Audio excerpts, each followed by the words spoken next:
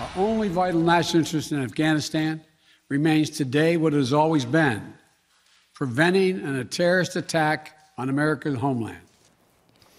And that is President Joe Biden speaking after 4 o'clock this afternoon today. One by one, cities in Afghanistan have fallen to the Taliban, including the capital of Kabul. Even the country's president has now fled. Today, we've been talking to local veterans who helped to eh, fight, who fought in that country. Rachel Droze is here with their reactions and with resources available to help vets who might be struggling with this news. Rachel? Doug, emotions in the veteran community running high right now as the country many fought to save falls back under terrorist control.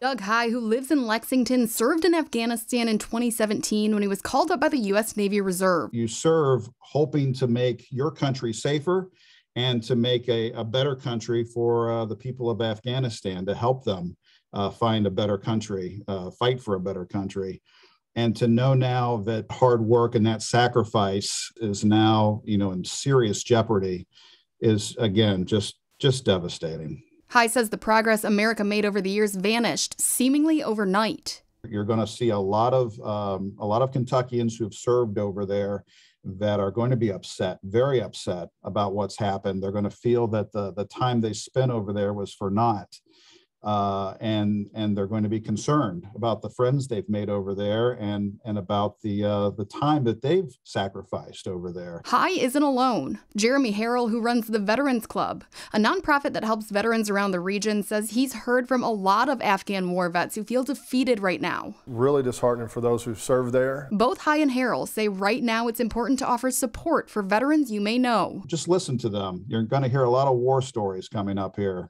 And if you yourself are a veteran reach out for help if you need it. One thing that I know that veterans tend to do in times like this is isolate, and isolation is a killer in the veteran community. Isolation will kill more than the enemy will.